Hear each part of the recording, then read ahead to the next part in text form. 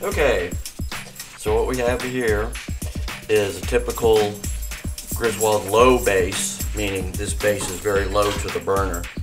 This little area right in here is to catch this batter when it seeps out when you put it inside the paddles. So what I'm going to do here is go through the whole process. First, I preheat the paddles, both sides, to around, on an electric stove, around 5, whatever temperature that is.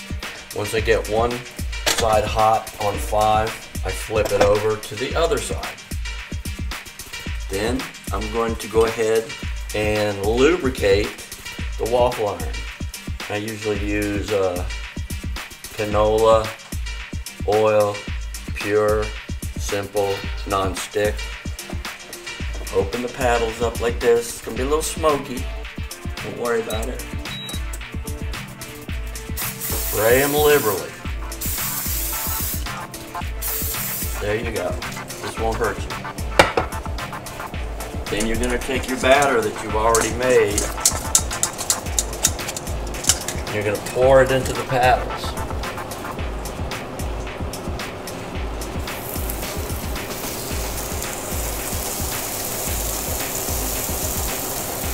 Don't be shy with it.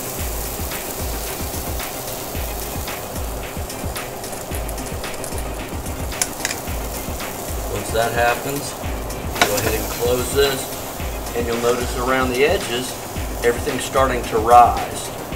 So that means that the paddles are, uh, all the batter is getting into the whole form. It's kind of messy, but I mean, that's the way they did it back in the 20s. Okay, you let it cook for a second. I bring it up to generally almost a high here.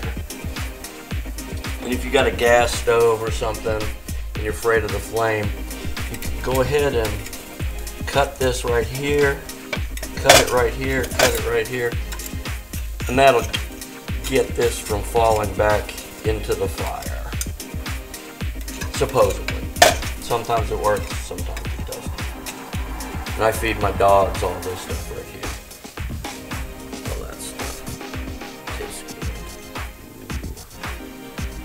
Okay, been cooking for a minute. I'll take it, raise it like this, flip it over. Once I've flipped it over, I can kind of inspect.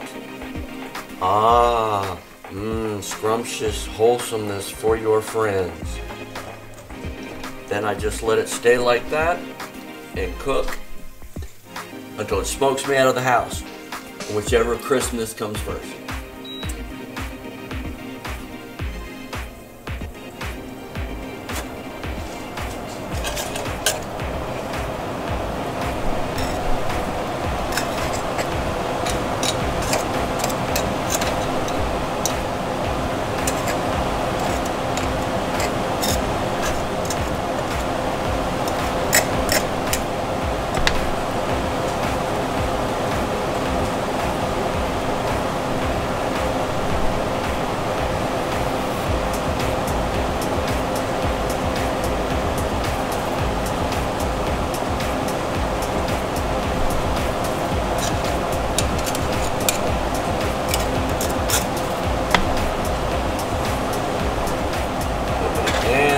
It.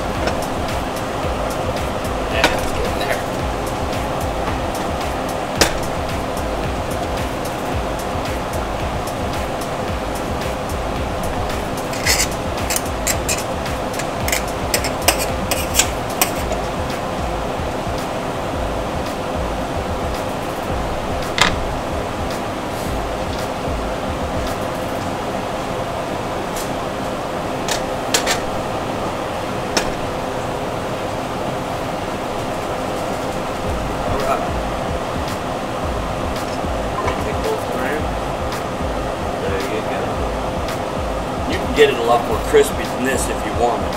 It's up to you.